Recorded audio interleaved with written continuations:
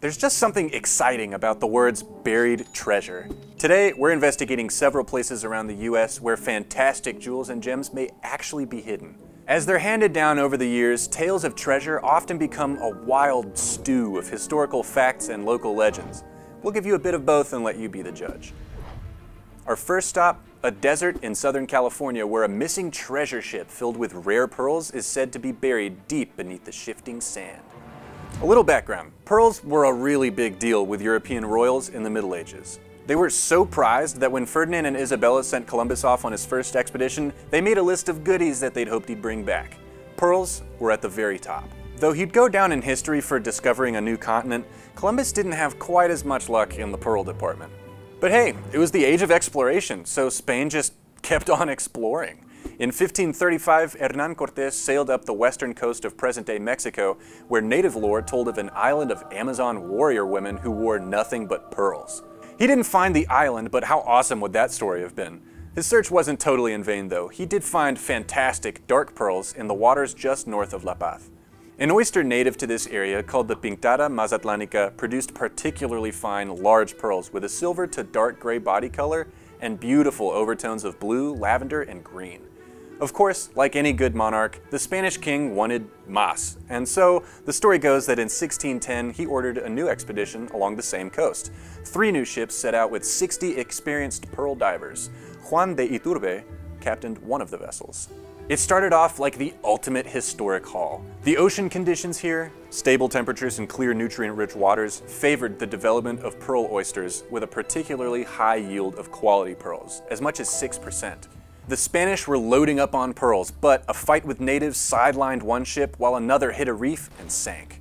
Only Iturbe's ship remained, riding dangerously low in the water due to the weight of its many pearls. But he pressed on further north, seeking more riches. He sailed from the Gulf of California and into the turbulent Colorado River, and through a narrow passage into what appeared to be a large inland sea. Mm-mm, big mistake. Sailing around this sea for weeks looking for oyster beds, he discovered it was only a shallow body of water created by the Colorado overflowing its banks. By the time he turned around, he was in for a little surprise. The water level had fallen, and the way back to the river was now totally blocked by a sandbar. The Spanish spent days looking for a way out, but there just wasn't any. Intense evaporation in this region meant that they were trapped in a sea that was slowly disappearing. Talk about a sinking feeling.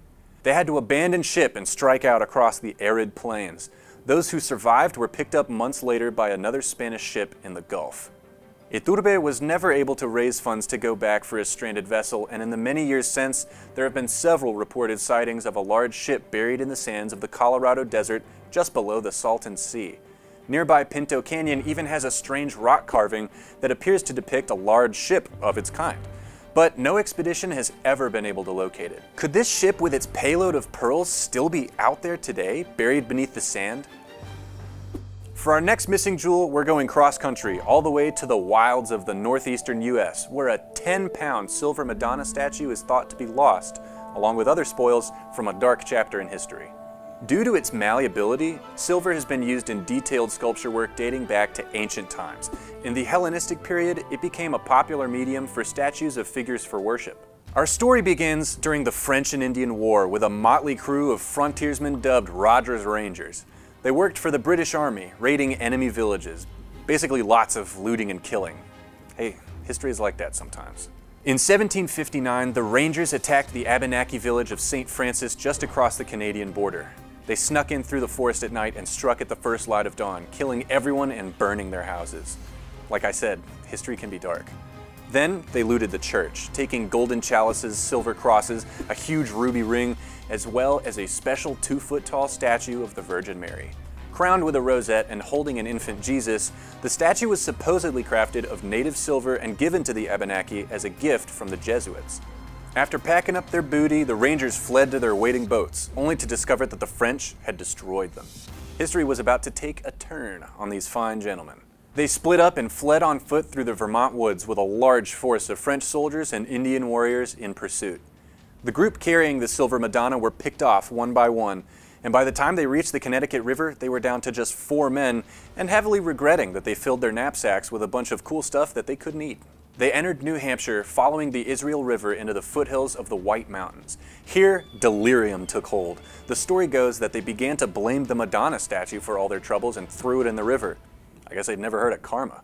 Given the weight of the statue and the specific gravity of silver, it's likely that it would have sank into the mud and gravel at the bottom of the river. Though it's never been located, other treasures from the Ranger's flight have been found scattered throughout the region, like little breadcrumbs. In 1816, a farmer plowed into a pair of golden candlesticks, and in 1828, a chainmail shirt was found in the hollow of a rotted birch tree.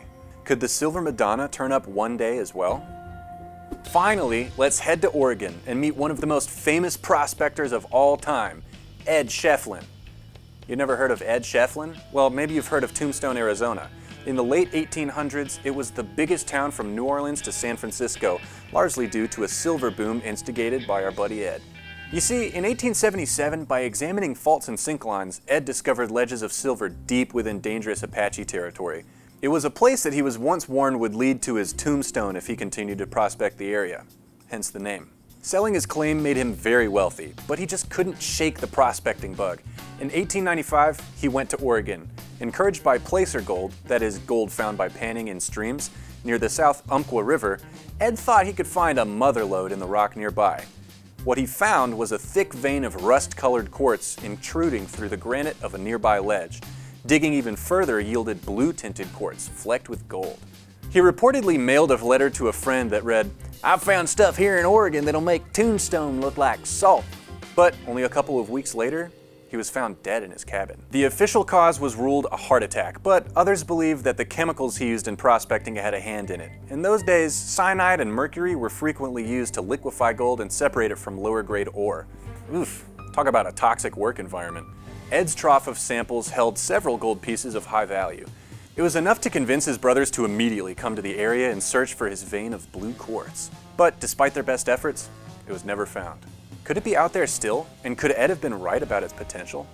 These are just a few of the many legendary treasures thought to be located around the United States. Are any of these in your neck of the woods? Where would you like us to go next? Let me know down in the comments, and please don't forget to like, subscribe, and ring the bell while you're down there. Thanks for watching.